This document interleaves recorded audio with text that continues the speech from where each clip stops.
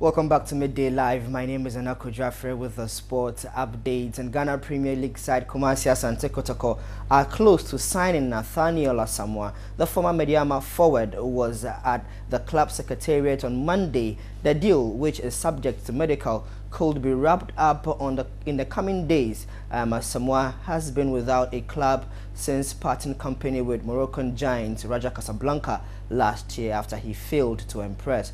Kotoko, who are currently enjoying a good run in the league after a poor start, are looking to enhance their squad with the second transfer window.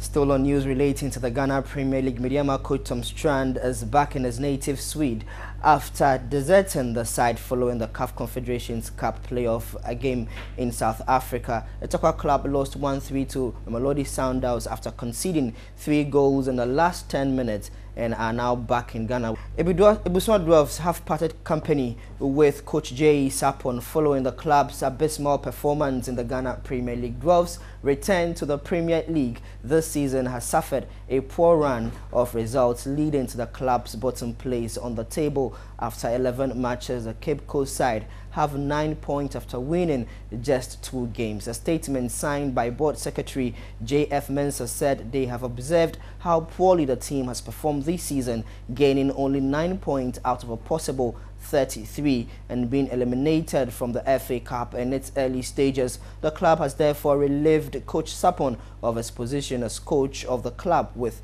immediate effect. Jay Sarpong secured promotion into the Premier League for the Cape Coast club after one season in Division 1.